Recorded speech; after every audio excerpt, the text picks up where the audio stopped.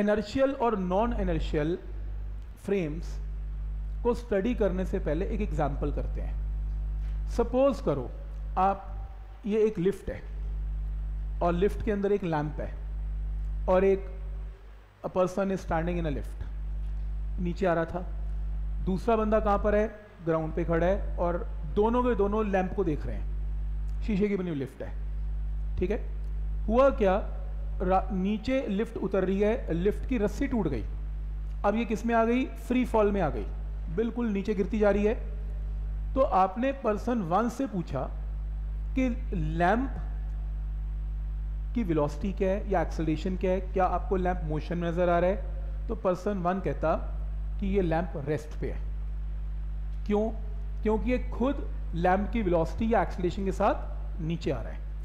तो इसको क्या लग रहा है कि लैंप किस पे है? एट रेस्ट पे है। सेम क्वेश्चन जब आपने ग्राउंड पे खड़े हुए बंदे से पूछा तो ये क्या कहता है कि लैंप क्या कर रहा है? फ्री फॉल में है और इसकी expression due to gravity g है।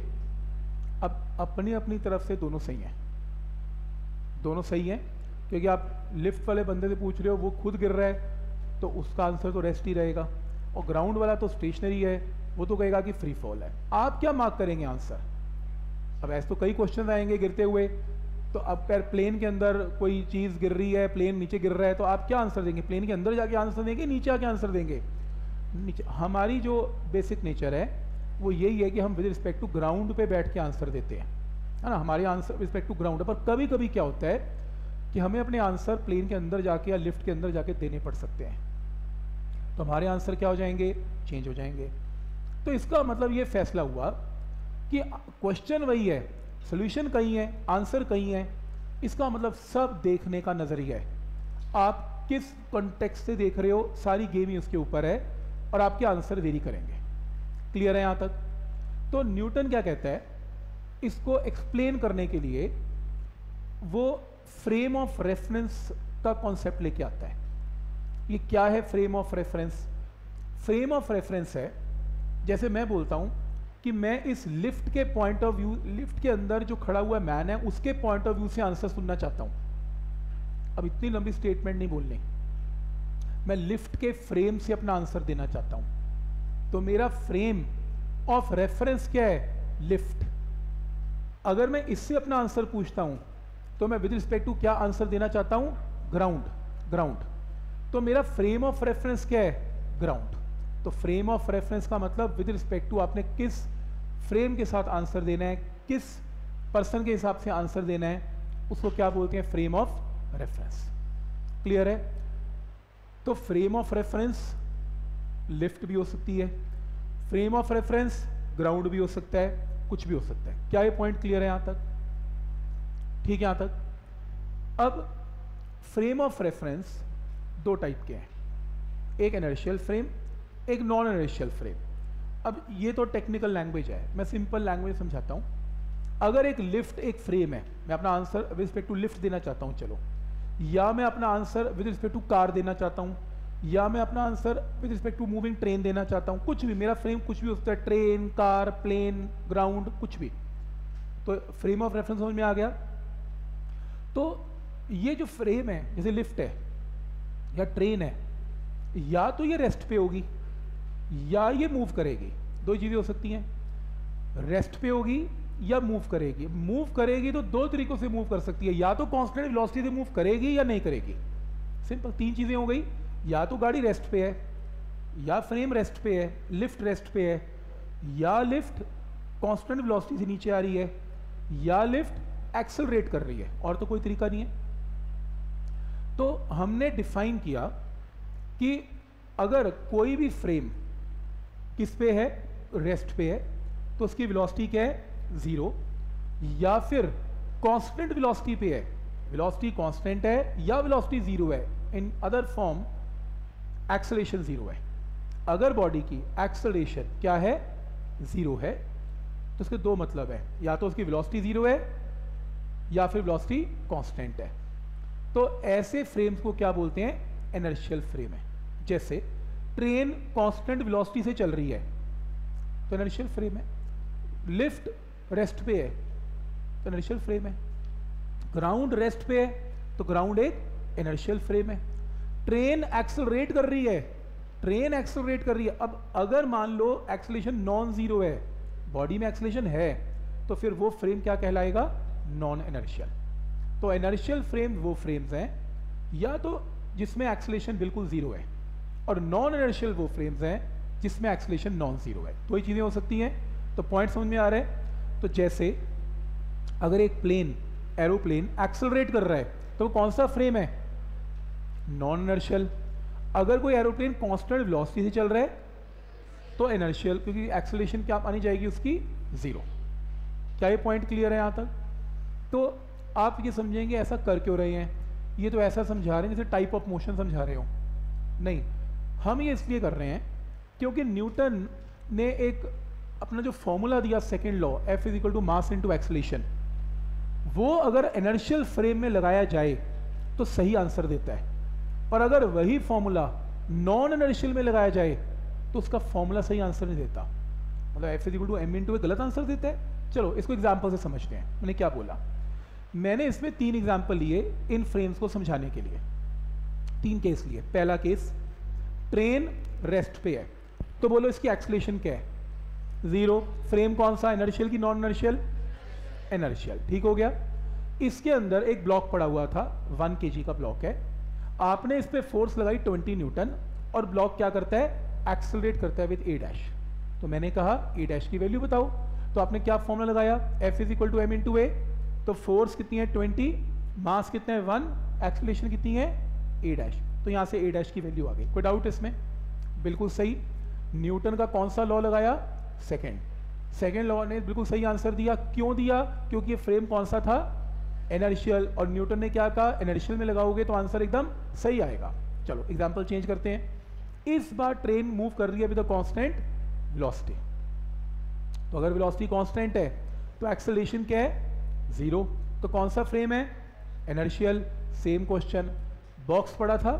मैंने जाके 20 न्यूटन की फोर्स लगाई, मुझे एक्सलेशन जनरेट करनी है तो force is mass into acceleration तो ए डैश की वैल्यू आ गई। क्या ये पॉइंट क्लियर है यहाँ तक? बिल्कुल सही आंसर है, क्योंकि फ्रेम क्या था? एनर्शियल तीसरा केस ट्रेन क्या कर रही है? एक्सलरेट अब ये कौन सा फ्रेम है? नॉन एनर्शियल ट्रेन एक्सलरेट कर रही है तो नॉन एनर्शियल फ्रेम में काम हो रहा है। अब वही बॉक्स है, वही फोर्स है, किसी ने कहा एक्सलेशन निकालो। तो जब मैंने ये फॉर्मूला लगाया twenty is equal to one into a dash मेरा आंसर गलत आया।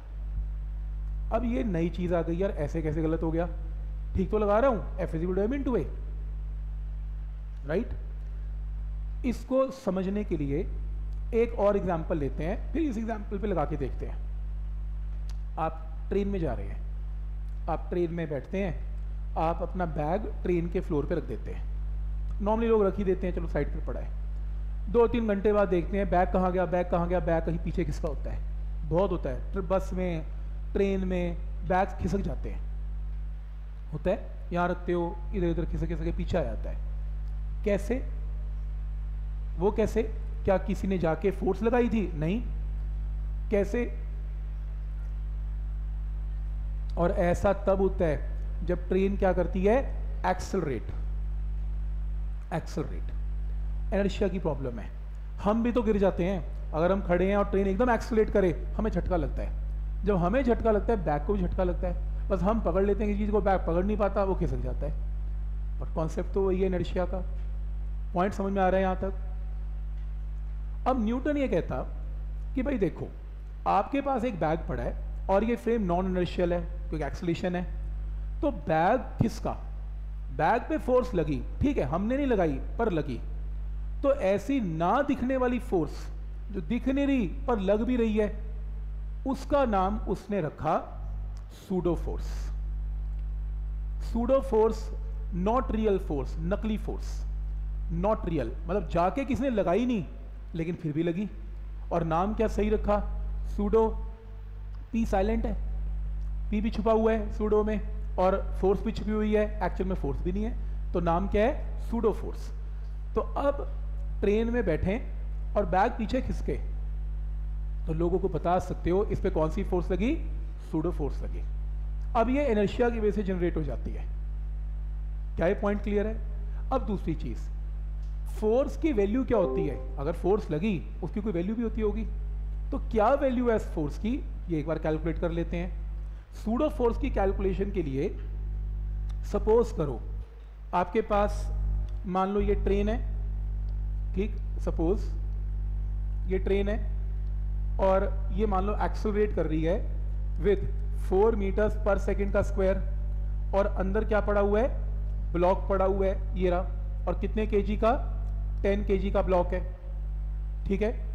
तो जब ये एक्सलरेट करेगी ट्रेन तो टेन केजी के ब्लॉक को पीछे फोर्स मिलेगी। तो rule number one pseudo force की जो डायरेक्शन होती है, वो इस ट्रेन के या फ्रेम के ऑपोजिट होती है। तो अगर आपका फ्रेम आगे जा रहा है तो सूडो फोर्स हमेशा पीछे लगेगी। क्लियर है यहाँ तक? तो सूडो फोर्स की डायरेक्शन ये रही। सेकेंड रूल इसकी वैल्यू क्या होती है? वैल्यू के लिए किस पे लगी सूडो फोर्स 10 के के ऊपर? तो मास 10 के और इनटू एक्सलेशन एक्सलेशन किसकी? ट्रेन की. मास ब्लॉक का. एक्सलेशन ट्रेन की. ट्रेन की एक्सलेशन कितनी है? फोर तो सूडो फोर्स कितनी लगी? 40 न्यूटन तो सूडो फोर्स कैसे कैलकुलेट करते हैं? कि ट्रेन या जो भी एक कार है, इसकी एक्सलेशन लेनी है और मास किसका लेना है? अपना ही लेना है. तो मास इनटू एक्सलेशन क्या हो जाएगी? फोर्स कोई डाउट इसमें? पॉइंट समझ में आ रहे हैं यहाँ तक? क्लियर है? तो ये आपके पास फोर्स की वैल्यू आ गई 40 न्यूटन राइट तो सूडो फोर्स हम पे भी लगती है। अब अपना मास कैलकुलेट कर लेना, घर से निकलने से पहले ड्राइवर से एक्सलेशन पूछ लेना, भाई, तेरी कार की एक्सलेशन कितनी है? वो कहेगा, मान लो मेरी एक्सलेशन है four meter per second square अपने मास से मल्टीप्लाई करके देख लेना आप पे कितनी फोर्स लग रही है। ये सूडो फोर्स है। क्लियर है? वापस क्वेश्चन पे चलें। तो मेरा क्वेश्चन था कि ट्रेन क्या कर रही है? एक्सेलरेट कर रही है। अब अगर मैं अपनी फोर्स ना भी लगाऊँ 20 तो ये ब्लॉक पे पीछे की तरफ़ फोर्स तो पक्का लगेगी लगेगी कितनी? वन इंटू वन बॉडी का मास और एक्सलेशन किसकी? ट्रेन की वन इंटू वन क्या पॉइंट क्लियर है? और ऊपर से एक फोर्स मैंने लगा दी। तो एक फोर्स मैंने लगाई, एक फोर्स ट्रेन ने लगाई सूडो फोर्स तो न्यूटन ये कहता है, क्योंकि अब आपने सूडो फोर्स को कंसिडर कर लिया अब ये फ्रेम नॉन एनर्शियल नहीं रहा। ये फ्रेम क्या बन गया? एनर्शियल अगर आप सूडो फोर्स नहीं लेते तो ये नॉन एनर्शियल रहता है, वहाँ मेरा लॉ नहीं चलेगा। पर जब आप सूडो फोर्स ले लेते हैं तो ये फ्रेम कंसिडर किया जाता है क्या? एनर्शियल तो ऐसे केस में मेरा लॉ एप्लीकेबल है, आप लगा लो। तो आपने सूडो फोर्स ली, अपनी फोर्स ली तो नेट फोर्स क्या है? 20 में से वन क्या? 19 is equal to mass into acceleration answer तो यानी कि आज के बाद कोई कार एक्सलेट कर रही है, कोई ट्रेन एक्सलेट कर रहा है, कोई प्लेन एक्सलेट कर रहा है और उसके अंदर जाके आपको अगर काम करना पड़े तो आपको क्या कंसिडर करनी पड़ेगी? सूडो फोर्स फिर अपना न्यूमेरिकल सॉल्व करेंगे, नहीं तो न्यूमेरिकल सॉल्व नहीं होगा। क्या ये पॉइंट क्लियर है यहाँ तक? ठीक है यहाँ तक। कोई डाउट इसमें? सर आपकी वॉइस नहीं क्लियर